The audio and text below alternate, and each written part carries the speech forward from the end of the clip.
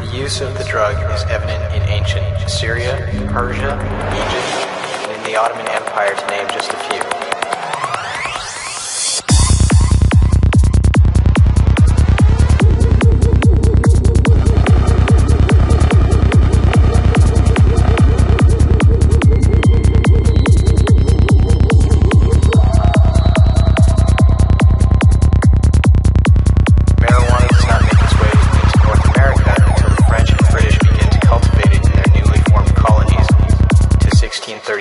1632